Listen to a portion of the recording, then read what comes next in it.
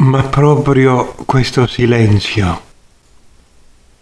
Verso la scintilla, attraverso Marco a cura di VB, domanda. Che cosa prova un ateo dopo il trapasso? Guida spirituale. Il maggior danno dell'essere atei non è il fatto di essere atei, ma proprio questo silenzio che dopo il trapasso si percepisce nel piano astrale e ci si sente veramente in compagnia soltanto dei vermi che ti divorano.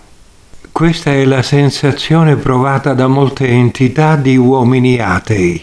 Parlo di atei, di materialisti, in senso veramente scientifico, veramente forte, dei veri materialisti. Domanda, soffrono praticamente della guida spirituale della propria convinzione. Domanda. Soffrono anche della disgregazione del proprio corpo? Guida spirituale, certo, perché per loro quella era l'unica realtà. Domanda. Uno che dubiti sinceramente dell'esistenza di Dio è da considerare ateo? Guida spirituale. Nessuno è ateo.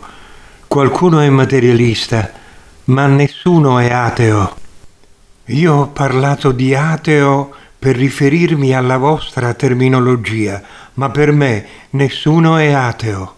Come potrebbe essere possibile che qualcuno sia ateo? Ateo significa senza Dio e vivere senza Dio è impossibile, dato che Dio è il tutto uno assoluto.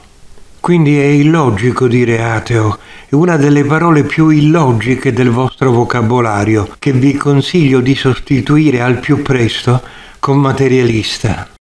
Comunque, per venire alla domanda, quando c'è solo un dubbio, non c'è questo tipo di effetto nel piano astrale. Invece, quando c'è la certezza che Dio non esiste, c'è quel tipo di visione, proprio di vita nel piano astrale, almeno nei primi momenti.